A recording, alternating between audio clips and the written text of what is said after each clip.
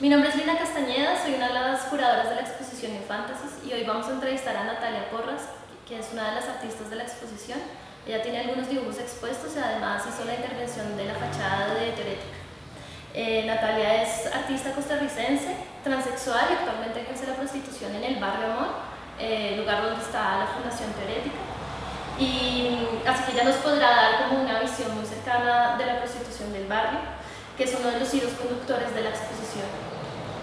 Y bueno, New Fantasies nace la necesidad de trabajar con la situación de este barrio, además que se ha convertido en uno de los centros de prostitución y turismo sexual más activos de Centroamérica.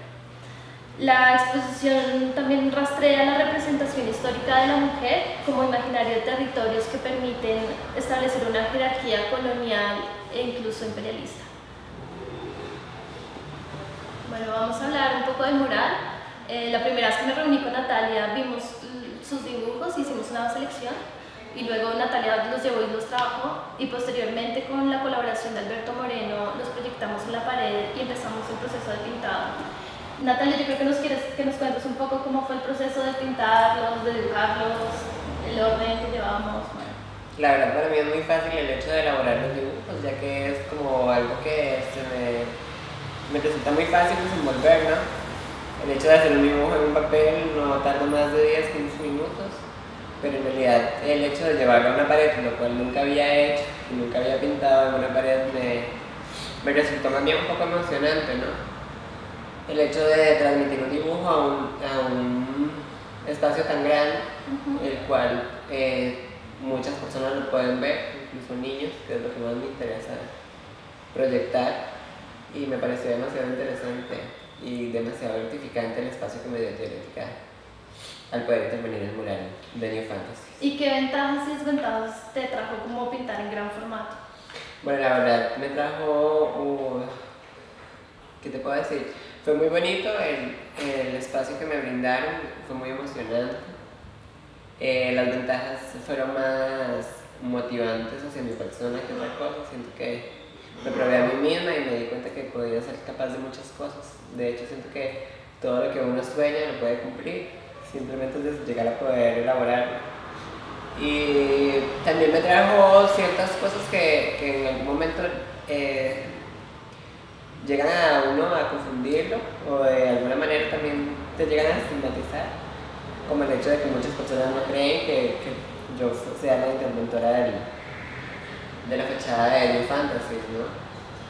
Sí, yo estuve acompañando el proceso con Natalia y me impresionaron todos los comentarios que te hacía, ¿no? Como, esto es parte de tu día a día, porque había comentarios como súper positivos, ¿no? Y otros como un poco raros también, como acerca de tu apariencia, tu cuerpo. Obviamente que el público masculino se acerca más a la realidad sexual de una mujer, ¿verdad? O sea, el machismo de todo lo único que veía era una mujer sexy dibujando una fachada, sin ver un trasfondo había mucha gente que se me, se me acercó. De hecho, se acercó una, un señor que trabajaba con una iglesia y quería un mural. Y yo creo que le pareció impactante que le respondiera a una trans. Yo me imagino que en la primera instancia lo que pensaba era que era una mujer biológica.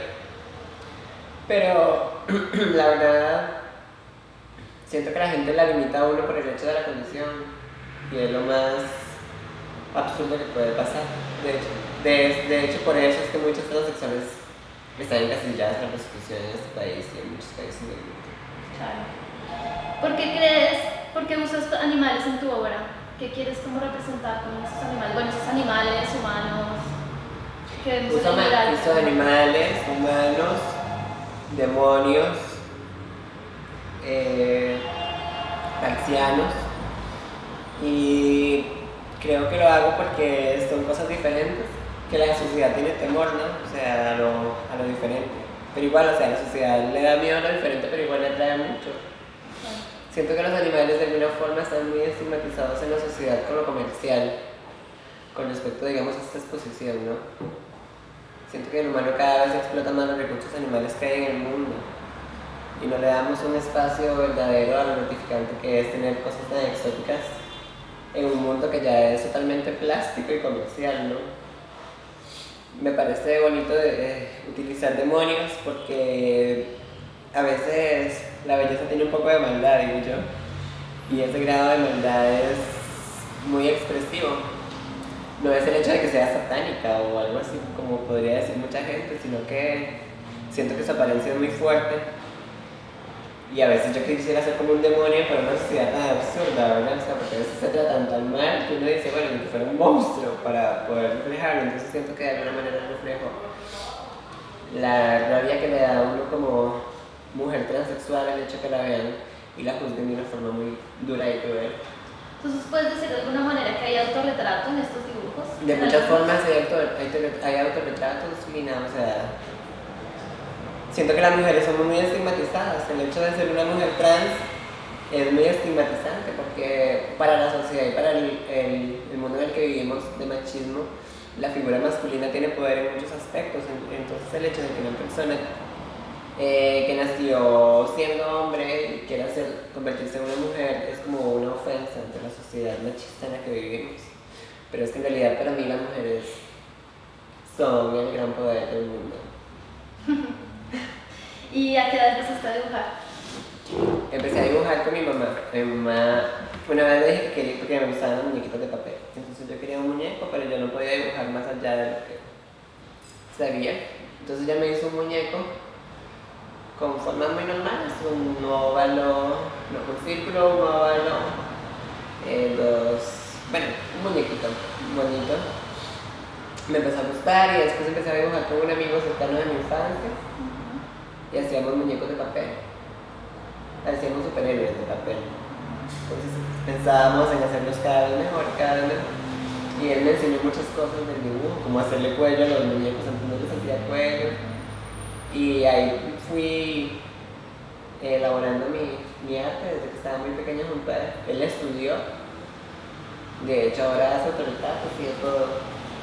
¿Y más allá de eso no quiso ningún instituto? Nunca fui a ningún instituto de dibujo, más, más allá de lo que hacíamos de muñequitos de papel y de lo que él me enseñó, no. O sea, ya después fui yo misma y cada vez avanzaba más, hacía las cosas más detalladas y así fui surgiendo. O sea, nunca tuve a nadie que me enseñara. De hecho, cuando dibujo estoy muy estresada o muy eufórica o con cólera.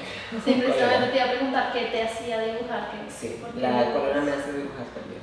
Hecho de, de sentirme depresiva, deprimida, me hace dibujar. La, la ira me hace dibujar. ¿Solo la ira o hay otro? No, y la alegría, eso, el hecho de inspirarme, de que me ponga a pensar, es que mi cabeza es como me tira imágenes a veces... Muy rápido, es como muy creativa. Entonces así lo hago. ¿Y qué opinas de las obras de la exposición? ¿Cuáles te gustan más? ¿Cómo por qué? Me encanta, me encanta esta, la de los zapatos, porque es muy femenina y se acerca mucho a lo que a mí me gusta. Ella es demasiado buena. De hecho, todas tienen conceptos muy bonitos. Algunas son un poco más de una realidad que otras personas. Eh, pero me acerco mucho a lo femenino, a las obras femeninas, me, me gusta mucho el hecho de, de mezclar esa feminidad, subjetivismo esta de, estos pechos, me gusta mucho. es muy bonito, pero en realidad siento que mi arte siempre ha sido como muy macabro, siempre me han gustado las imágenes muy fuertes. ¿Y cómo crees que tus obras dialogan con la exposición? Yo siento que soy una fantasía. En realidad mis obras son muy fantasiosas. Como el título de la exposición dice, ¿no? Sí, totalmente. Yo creo que juego mucho con, con lo que es el ser humano, el animal y la mujer.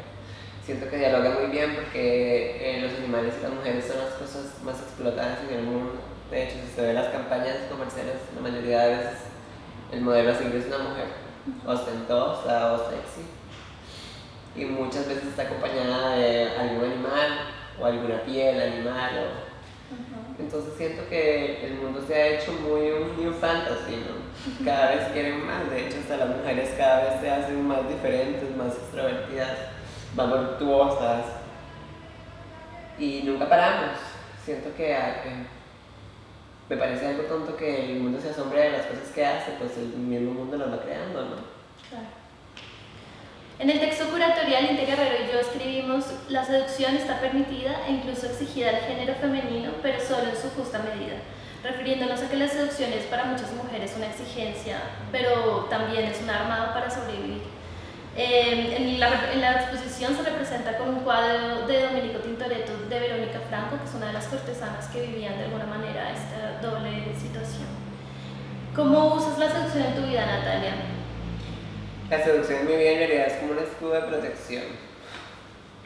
Siento que siendo una mujer trans, eh, ya, ya el hecho de, de ser bonita tiene que ser un plus. Sí, ¿no? Como que Totalmente, para, hacer, para equilibrar las ofensas de la sociedad. Entonces el hecho de que mucha gente dirá, es que esa madre es súper plástica. O sea, sí, de alguna manera el hecho de plastificarme ante la sociedad hace que no me agrega tanto. Siento así las cosas. El hecho de ser una figura a veces eh, sexual es mucho mejor que ser eh, una figura llamativa. Bueno, en realidad siento que tengo las dos y me ayudan para un escudo de rechazo. O sea, siento que una trans cuando no es muy agraciada recibe muchísimo más agresión verbal e incluso física. Claro. Que una trans que, que tenga una realidad mucho más cosmética. Eh, con esto logro muchas cosas, pero igual me frena a muchas cosas el hecho de tener una imagen sexosa, digo yo. ¿Te cansas de esta imagen de que te estén echando piropos? Me cansa el hecho de que me... en la calle. Totalmente, me cansa el hecho de que me encasillan. Me encasillan en, una, en, un prototipo de mujer construida, ¿no? De las que muchas veces ya existen en nuestro país. Una mujer de silicón. Lo que pasa como lo explico siempre, o sea, mi condición y mi etapa de cambio me, me pedían obviamente una talla de pecho más grande.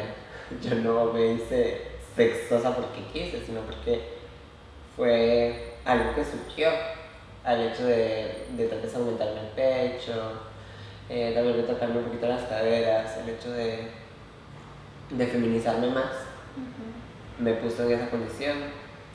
Es un poco cansado, yo siento que muchas de las mujeres se cansan del hecho del irrespeto por el hecho de ser llamativo o sexy.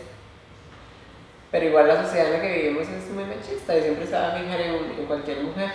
De hecho, los hombres viven como buitres carroñeros hacia las mujeres. Entonces es como algo que en ese momento lo estamos viviendo muchas personas, muchas mujeres en este país y en el, mundo, de hecho. ¿Y cómo crees que esos estereotipos como que se manifiestan en el cine y en la televisión influyen a las mujeres como con esos modelos a seguir? Bueno, los estereotipos se crean desde que las chicas están muy pequeñitas, ya las niñas se quieren maquillar a los 4 o 5 años, y quieren andar en taconadas, y a los 10 años ya quieren tener hasta novia, y si no es incluso antes.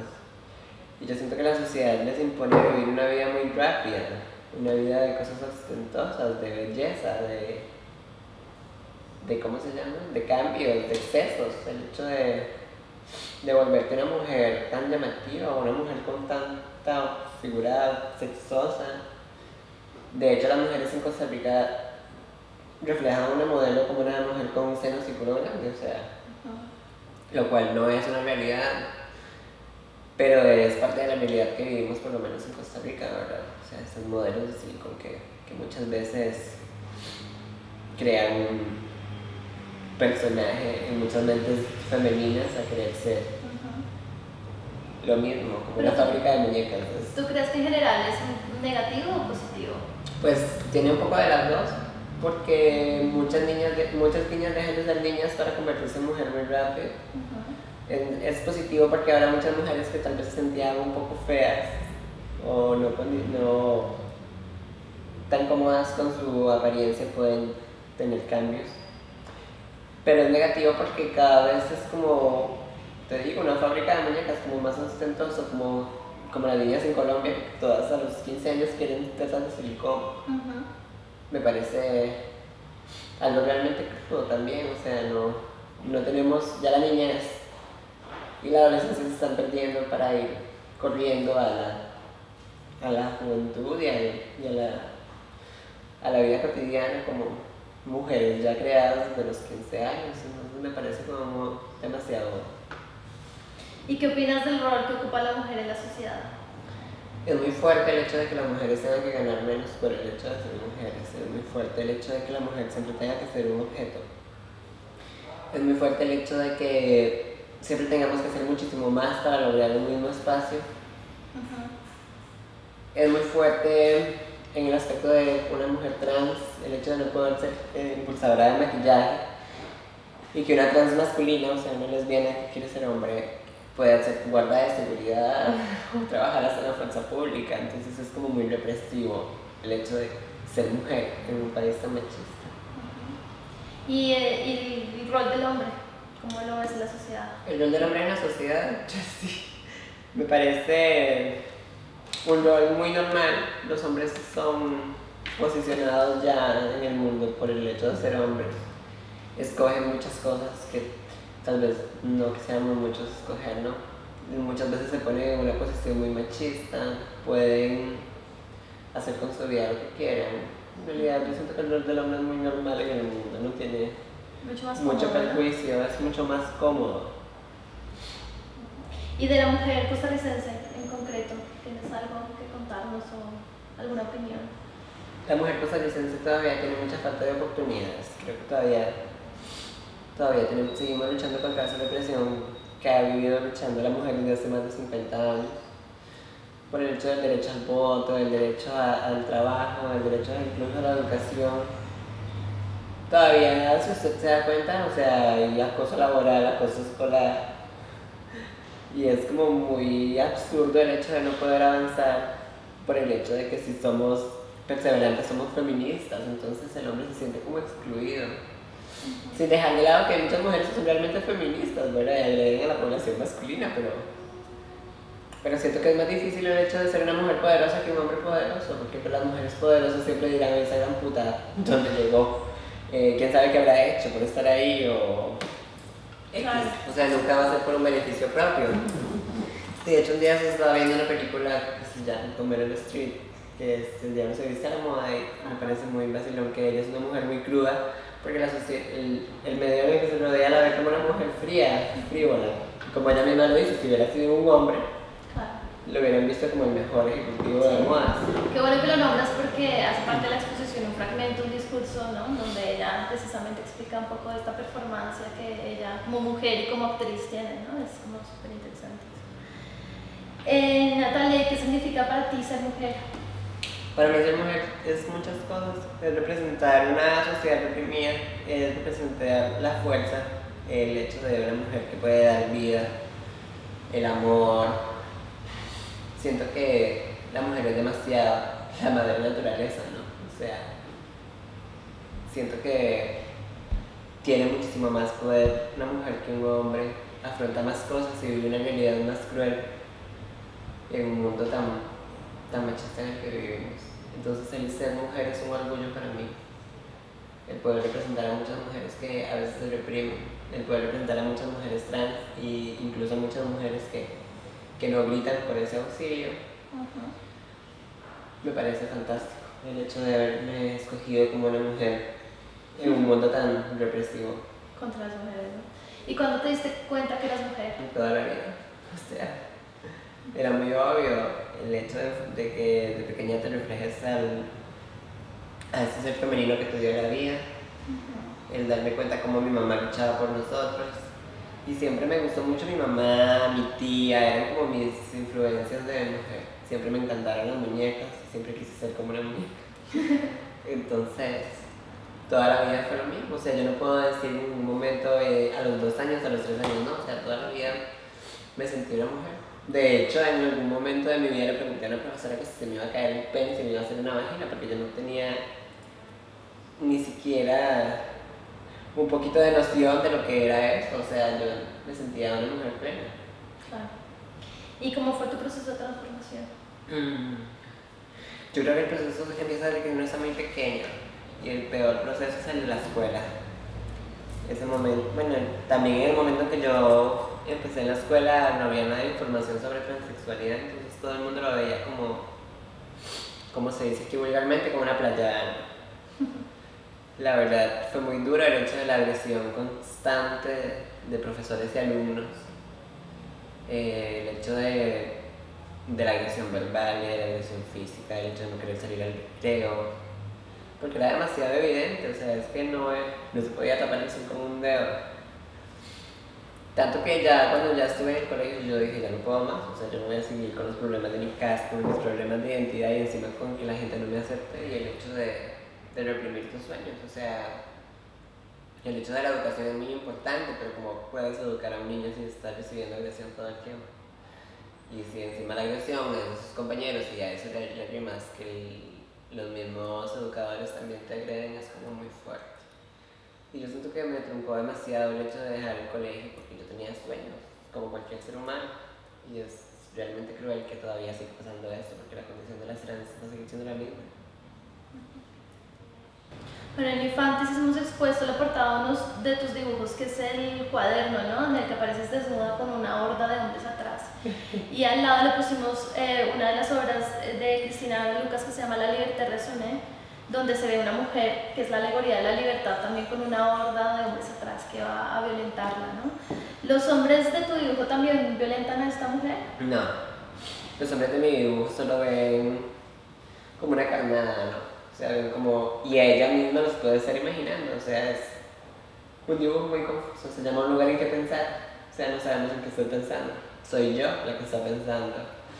En ese momento de mi vida sí pensaba mucho en los hombres, en lo que podían llevar y traer a mi vida. Y en ese momento siempre estaba pensando en qué plasmar, de hecho la obra refleja que estoy plasmando un dibujo que podría ser hasta yo misma. O sea, me, dibujo tres veces. Ok. wow. O sea, estás dibujando tu misma, ¿no? Continuamente. Y en, en, en cierto modo siento que soy libre, estoy desnuda, estoy dibujando, soy yo misma. Y ellos no están acabando conmigo, sino que yo estoy siguiendo trabajando. Porque los hombres son todo. Son, en este momento de mi vida y en muchos momentos de mi vida me han posicionado en muchas formas, en muchos lugares.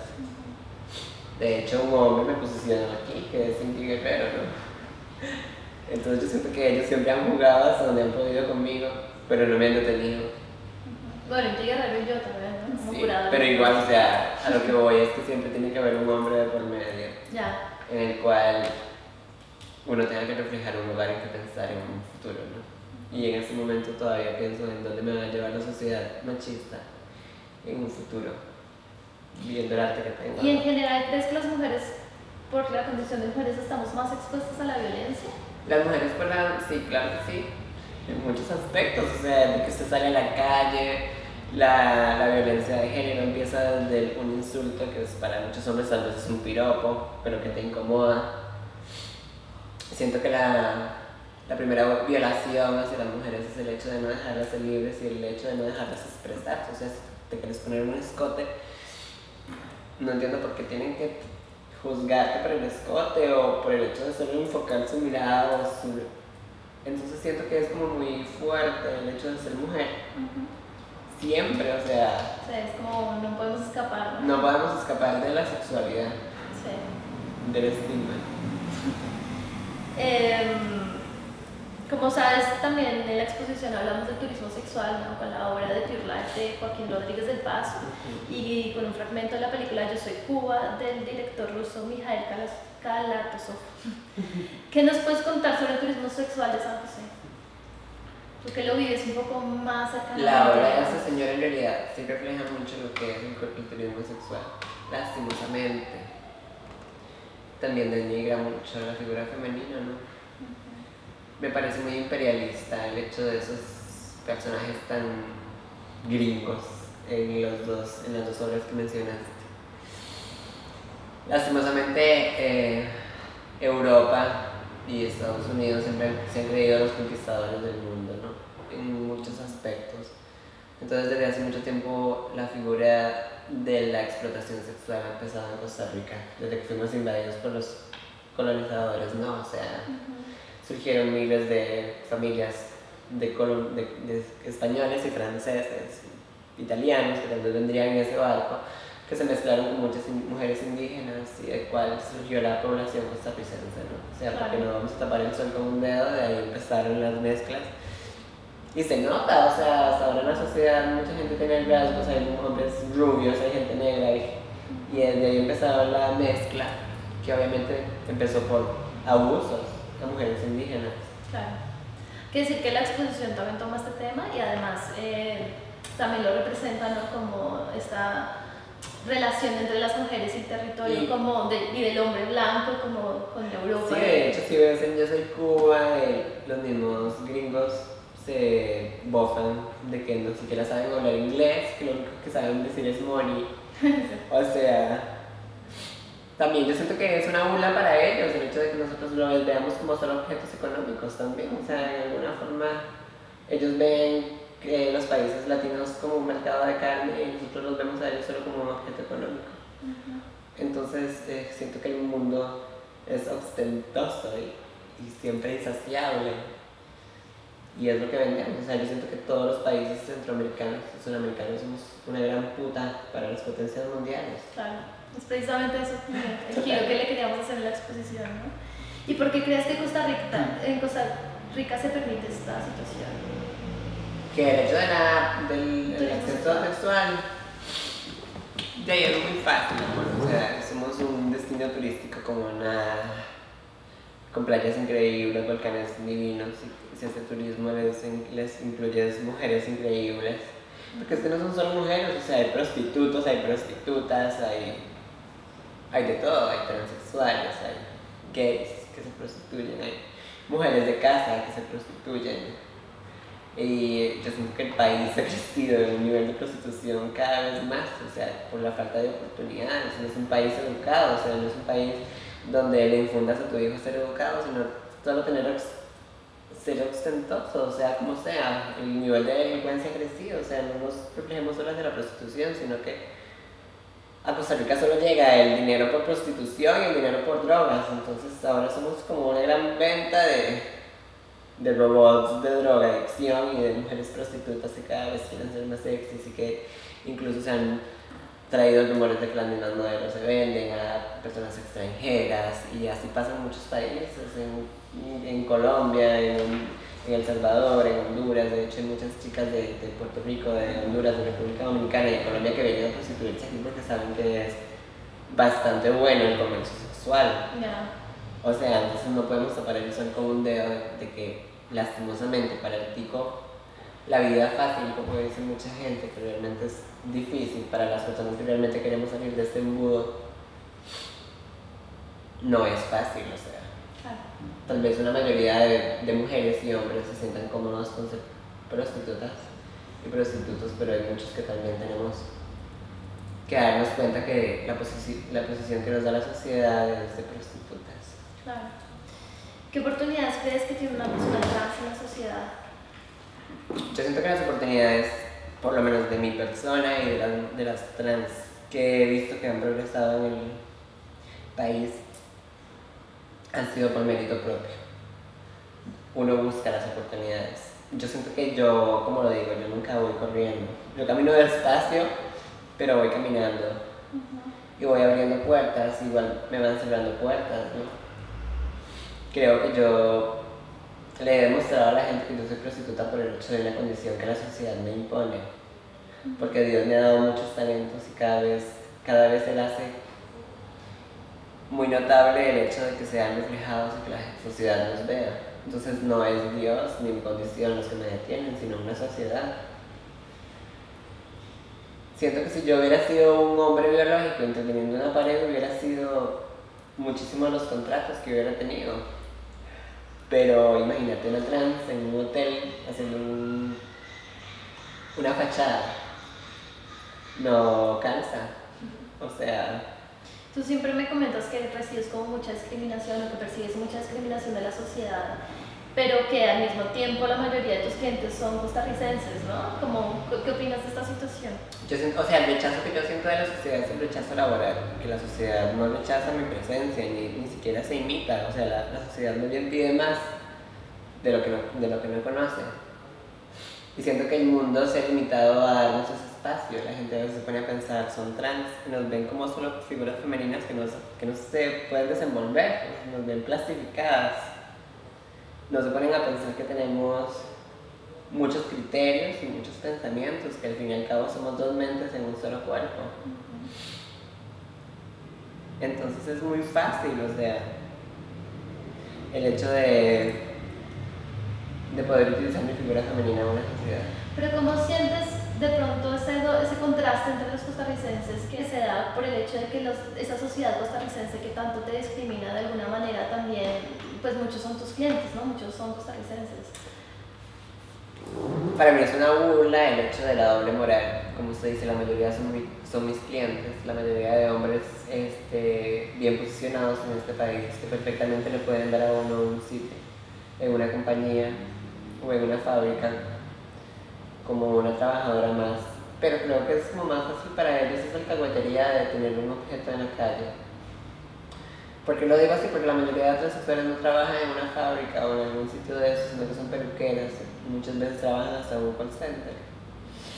O están más arriesgadas a la peluquería o detrás de un, de un micrófono donde no están tan expuestas. Conozco una que trabaja allí, pero o sea, no sé qué condiciones tendrán y el hecho de, de cómo les tratan en, en, su lugar de trabajo. También lo que me parece repudiable es que yo he atendido muchas figuras del medio político y del medio televisivo que son un modelo a seguir para muchos niños y mucha juventud, pero que en realidad, o sea, nadie lo señala ni lo justifica y aquí la puta sigo siendo yo, o sea, la, la estigmatizada y la señalada. Venden otra imagen, ¿no? Totalmente, o sea, yo siento que la sociedad vende una imagen de doble moral y no hay una figura tan, tan real como una mujer transexual. O sea, el hecho de la sociedad como que reprime el hecho de que seamos tan libres y demostremos realmente quién somos. De hecho, una vez estuve hablando que a mí a veces me da mucho coraje el hecho de, de la gran burla que hace el hombre ante la mujer por su doble moral.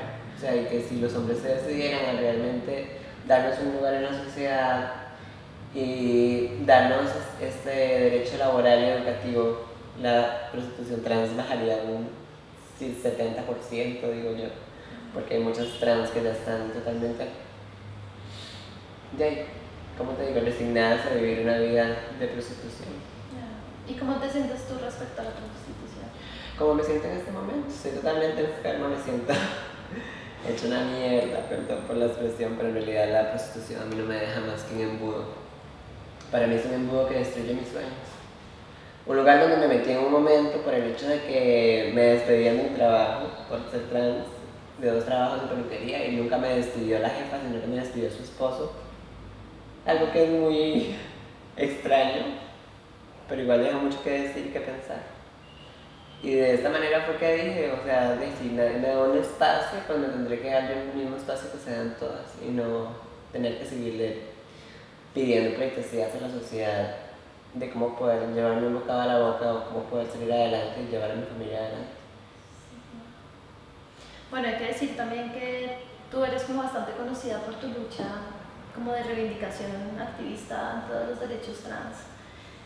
¿Qué nos puedes contar sobre tu trabajo como activista? Yo siento que Natalia Porras se volvió activista desde el momento en el que no se dejó pisotear por la sociedad represiva que quería amarrarme el pelo y lavarme la cara en un documento de identidad donde se te reconoce. Si yo ando siempre así como pretende la gente que yo me la cara y me haga una cosa, o sea, por Dios, la primera, es una de las primeras, de las primeras discriminaciones que me hacen. Igual no entiendo cómo pretenden que yo me vea masculina. Y entonces una lesbiana masculina, ¿cómo se va a ver? O sea, le van a poner maquillaje y una peluca para que se vea femenina. Entonces, de alguna manera me parece que la represión y, y, la humillación era más que todo para el género transexual en el registro civil. De hecho, en el registro civil recibí como una burla diciéndome, ay, haga lo que usted quiera, vale, ponga la denuncia en el Ministerio Público.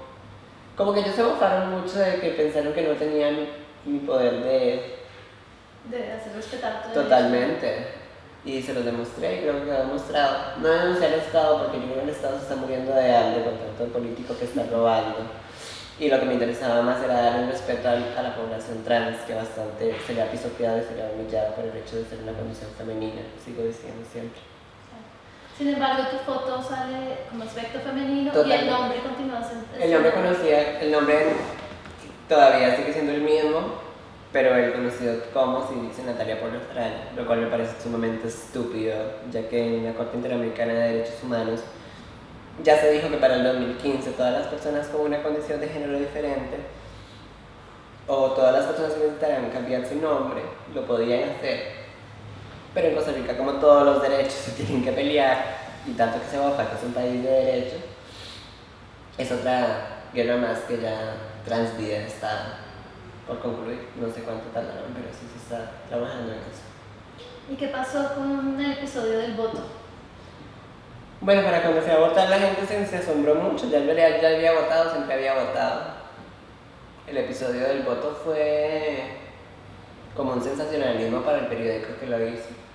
En ese momento mi imagen fue demasiado explotada, salí muchísimo tiempo, salí como en cuatro portadas de la teja, de la cual no recibí pero ni 100 pesos. Este, sí tuvo, en realidad yo siempre he visto que, que el hecho de las historias de una trans en ese momento son como muy mediáticas, todavía se me sigue dando una publicidad que no me llena absolutamente de nada, o sea, no me, más que de clientes nuevos, como le dije a la revista Perfil, o sea, ustedes no me llenan a mí nada. Eh, lo que yo hago con las entrevistas es tal vez dar una realidad que la gente no se da cuenta que se vive, pero que se vive. Y la verdad, el hecho de ser famosa para mí es una estupidez, o sea, la palabra famosa no, no, no abarca en Costa Rica, sino Marito Mortadela ya tendría casa, tendría una una tercera edad digna y no estaría todavía con su guitarrita tocando en, recibiendo monedas de la gente, ¿no? O sea, yo siento que, cuando se te da un lugar en la sociedad y, realmente se te valora como ser humano, creo que las miserias de la gente vienen de más. Tú fuiste parte de una de estas organizaciones, ¿no? ¿Cómo ves el panorama de las organizaciones trans? Yo formé Transvida con Jimena Franco y Renan Hernández eh, el panorama durante un año fue algo emprendedor, las luchas, ir a talleres, donde siempre se veían las mismas estadísticas que totalmente son falsas, o sea, no puedo decir, y no me interesa lo que me diga el Ministerio de Salud ni el Ministerio de Educación, pero no hay una prevención hacia los intereses trans, no hay una carta de empleo, y lo único que se resume la ayuda a transexuales es en regalar condones, entonces siento que la cafetería de regalar condones no va conmigo. Entonces dejé ese trabajo de lado. Si algunas chicas han, han logrado conseguir algunas becas para aprender inglés, sí, pero han sido como una o dos, no han sido un grupo de 20. Siento que se ha burlado demasiado el hecho de que no hay, no, de que Costa Rica no tiene un problema de discriminación trans del mundo. Entonces no se hacen campañas tan fuertes, ¿no? De hecho grabé un anuncio para organizaciones de México, Honduras y El Salvador sobre, sobre riesgos de población transagredida, donde ellos podían denunciar. Y me dio mucha gracia que Costa Rica no se hubiera enfocado para ese anuncio, o sea, por el hecho de que supuestamente somos un país que está bien en salud y en derechos. Entonces, si Laura Chinchilla o los gobiernos que vengan ponen esa imagen, Costa Rica se va a pudrir muy fácilmente en lo que es temas de educación sexual, que no existe. Entonces, ¿cuáles son las principales luchas del movimiento trans? La, la lucha del movimiento de transvía es llegar y hacer un, comer, un comedor para muchas transgénero que no tienen todos los días donde comer. Quisiéramos hacer también un cuarto para que muchas trans pudieran dormir en ese cuarto, como hacen las ayudas de los, de los indigentes. Es lo mismo que queremos hacer. Que quisiéramos una carta de empleo para muchas chicas trans que tal vez son bachiller pero que siguen en una calle por el hecho de la discriminación, que es algo totalmente estúpido. Y un, un lugar donde nos podamos educar, o sea, un, un, acceso a la educación, donde mucho se pueda moldar a las chicas que trabajan y viven de la, la calle pero que puedan estudiar por las tardes, que se intentó en una instancia con uno de, las, de los de los, centros, de, los, de los lugares educativos en el país muy conocidos el pero que en realidad no dio muchos frutos. ¿Y cuál era la idea? ¿Tener como una... como insertadas con las otras clases o una sección aparte? No, yo siento que nos tenemos que integrar con la sociedad, porque nada hacemos con integrar a las chicas en una clase solo de trans, o sea, porque no, la gente no se va a desenvolver con chicas trans, entonces no vamos a llegar a tener ese acceso a la sociedad, ¿no? Sí, o sea, si naturalidad. Totalmente, o sea, si nos reprimimos de la sociedad, no vamos a, a formar vínculos y núcleos con la gente para que haya una apertura. Pero en realidad todavía es súper difícil, o sea, todavía yo como trans tengo que ir a ver a, cuál centro educativo me, me amoldo más por mis condiciones, por el hecho de que no me humillen, de que no me griten, o sea, es muy fuerte. No es una victimización, sino es algo que ya vivimos y que es muy feo volver a como escarbar en esa escoria y, y siento que el temor es de volver a vivir los mismos traumas que vivimos en la niñez y en la adolescencia, donde recibimos más discriminación. Claro. ¿Qué tipo de asociaciones tiene el movimiento trans con otras organizaciones como identitarias, tipo colectivos eh, de lesbianas, gays, bisexuales? Los colectivos de gays y lesbianas ven a las transexuales, y no me interesa decirlo así, como una oportunidad económica en momentos en el que la transexualidad está saliendo a flote. Pero la ayuda de, los, de, estas, de estas organizaciones, como te digo, es solamente de condones y lubricante. O sea, no es una ayuda en la que vamos a recibir oportunidades laborales, acceso al empleo, ni a la educación, ni a donde se nos van a dar talleres de autoestima, sino es que si nos, se les dan, pero son grupos muy pequeños y siempre es como muy minoritario el hecho de, de dar una ayuda. Es muy similar a las poblaciones indígenas que si usted quiere ayudar tiene que ir usted hasta allá, hasta mérito propio. Entonces, nosotras como figuras trans, como te digo, la que quiere salir adelante tiene que sacar las uñas y luchar contra la sociedad. Bueno, Natalia, ya para terminar, ¿cuál crees que es la manera en que el arte puede convertirse en una herramienta eficaz de reivindicación política? Yo creo que el arte es expresión. El arte es represivo también en Costa Rica. El arte es, como te dije anteriormente, un capullo de flor que va creciendo, en el que podemos decir muchas cosas. Creo que Costa Rica tiene demasiados artistas que quieren ver la luz en algún momento. Yo soy una de ellas, obviamente. Quisiera florecer con la luz del amanecer como, como cualquier otra persona. Es un espacio para muchas personas como yo, que tal vez encontró una luz en la oscuridad. El arte es capaz, el arte es capaz de, de llevarte a mundos desconocidos y reales, pero auténticos y también es capaz de llevarte acontecimientos reales que se están viviendo, como los consumismos, la prostitución, las drogas, los excesos. En un país tan represivo, porque para mí Costa Rica no es un país de derechos, porque siempre hay que pelear por ellos. Creo que el arte tiene muchísimo más que decir. Y creo que la apertura al arte en este país podría llevar a muchas personas a, a tener una vida digna y una vida feliz.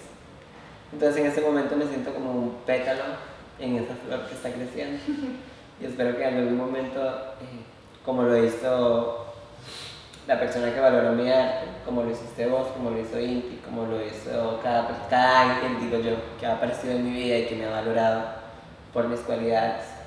Espero que la sociedad del mundo y este país nos dé una apertura a nosotros los artistas como algo más que solo plasmar un pensamiento en un papel. Bueno, Natalia, muchas gracias. Ah.